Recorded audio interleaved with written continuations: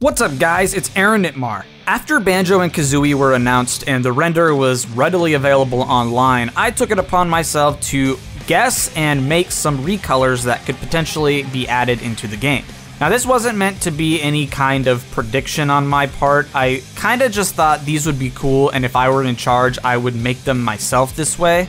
Obviously, Sakurai went a totally different route because I never would have thought in a million years that he would have made a grunty version of Banjo and Kazooie, but here they are in the game, and I am here for it. And we, if you don't like this, I've seen a lot of people say that they don't like this costume, and if you don't like this, we're about to have an issue, we're about to throw down, you're about to catch these hands, because that is a really cool costume. I've seen a lot of people talk crap about it, and if there wasn't a pink banjo, I would absolutely play the grunty banjo exclusively. But I did end up guessing one of them very, very close. Uh, the white banjo, which we kind of all knew was going to happen because Boggy the Bear is in Banjo and Kazooie. It was kind of just a natural fit. Um, so I went ahead and made Kazooie black just to uh, sort of counter the white of Banjo and that is actually pretty close to what ended up being in the game. I didn't get the shorts or the backpack right, I didn't really touch them. Um, and I didn't exactly guess that they would make the feathers white on Kazooie, but I want to say that like I got this 90% right. I mean, the colors of the shorts and the backpack could have gone genuinely any way, so I'm not too fussed about that. And then the white feathers, I I guess I didn't get that entirely right, but a black kazooie with a white banjo, I mean, I guessed that, so I got one of them kinda right. I guessed other colors right, like I got a yellow banjo right, a blue banjo right, but I didn't get any of the other colors right for both characters on the same costume, except for the boggy and black kazooie. So now that Terry is out and we are able to actually look at his render ahead of time without knowing what the recolors are going to be, this is the perfect opportunity for me to make another video where I guess his colors. So let's go ahead and jump into those. All right, so first we're gonna start, of course, with the default. He's got his red hat, vest, and Converse on, and he's got jeans. He's honestly a pretty basic character design-wise. He really, I mean, you could see this dude walking around every day and you'd be like, okay, that's, I mean, why is he wearing a, a sleeveless vest in 2019? like this. But I mean, this is fairly basic clothing. There's nothing too crazy about it. So the recolors would be uh, equally very basic. Now the thing about Smash and recolors for characters that come from fighting games, we have both Ken and Ryu to look at for this, is that those games already have a bunch of recolors for the characters because they run into the same problem Smash has where you need to distinguish if two of the same character are on screen at once. So with both Ken and Ryu, all of their colors have come from past Street Fighter games. None of them are actually original to Smash. So my prediction is that Terry is going to be the same way and he's going to have most, if not all of his colors taken from games that he's already been in. So I went ahead and took the render and I made some colors that come from previous fighting games. First up is this muted red with green-ish jeans. I mean, they're not totally green, but they're kind of green. This comes from King of Fighters 98 as one of the possible alternate palettes that he can have. Then we have a green one with some blackish gray jeans. I took a little bit of artistic license here and sort of changed the colors up a bit. It is based on one of the King of Fighters 98 colors as well, but I didn't want them all to have blue jeans because it's kind of a big part of what you're looking at on the model, so changing up the jeans color also helps with distinguishing the different colors. But this one is another one from King of Fighters 98. Next, an all blue one with the jeans kinda untouched, and this is also from King of Fighters 98, and it just looks nice. I don't know what else to say about it. I kinda like the blue with the blue jeans. Next up is a pink one because, of course, I made a pink one. I love the pink skins. Whenever a character has one, I love the pink skins. Um, so yeah, apparently I've seen that this is playable in one of the Fatal Fury or King of Fighters games, but for some reason I have a hard time finding recolors of these games online, so I'm not entirely sure uh, what game this is from, but apparently it is from a game. Next up, we have a black and brown one, again, supposedly from a King of Fighters game, or Fatal Fury, because Terry is very prominent in both of those. Um, but I, I, really like this one. I like when characters have dark alts that don't exactly match their color scheme.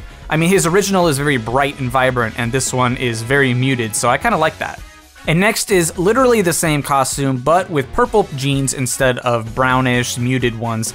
Uh, again, from King of Fighters, I, and I actually really like this color scheme. I'm not entirely sure what game it's from again, but I don't know, something about the black top with the jeans that are purple really just seems very cool. Next is a basic yellow. I just think there will be a yellow. It seems like a very Terry-ish color.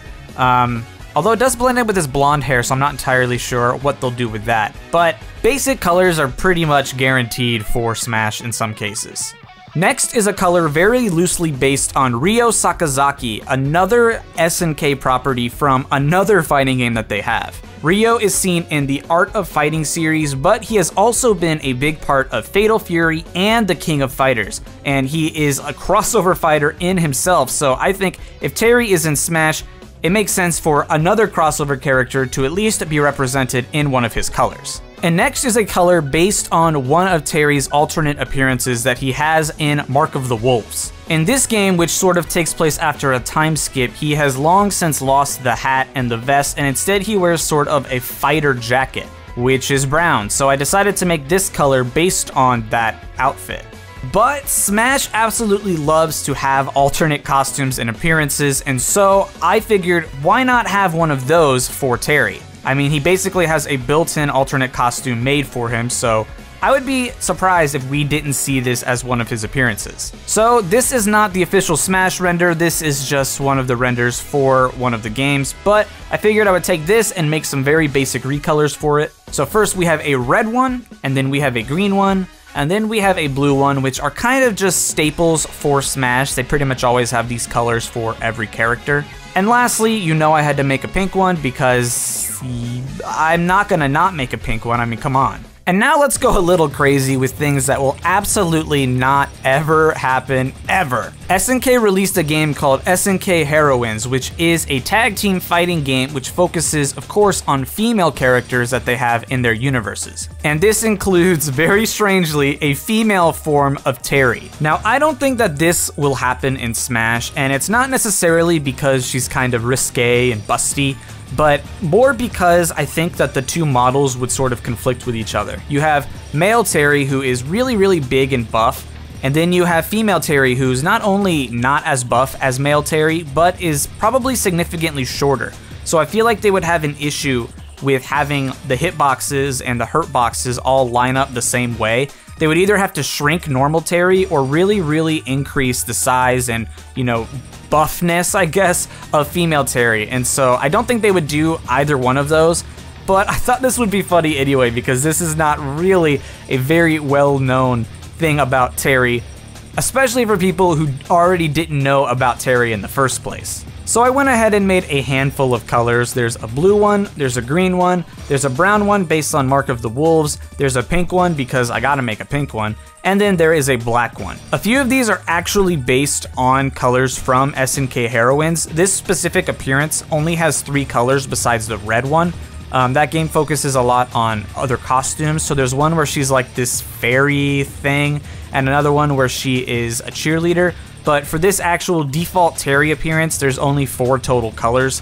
So uh, not all of the ones that I made are official, but I just wanted to make them. I figured why not include this funny version of Terry. Like I said, I don't think this is going to happen at all. If I had to bet, I would say that we're going to have the normal Terry appearance and then the Mark of the Wolves Terry appearance as the two looks for Terry.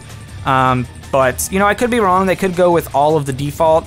Who knows? I just thought that that female Terry would be really funny to make. And with that, we have finished all of the different colors for Terry. Um, I don't know. I just thought this would be fun.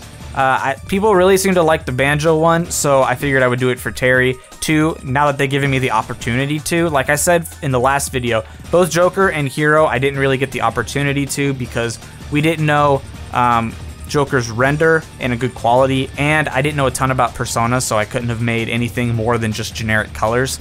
Uh, and for Hero, the day he was announced, we saw all of the recolors, so I couldn't do anything for those two. So Banjo I was able to do it for, Terry I've now been able to do it for. Hopefully the last Fighter Pass one I will be able to do it for as well. And then everything beyond, whether it's Fighter Pass 2 or just a handful more cost or characters, um, hopefully I will be able to do this kind of thing for them as well. But uh, I hope you guys enjoyed this video. If you did, be sure to hit the like button. And if you are new, be sure to subscribe.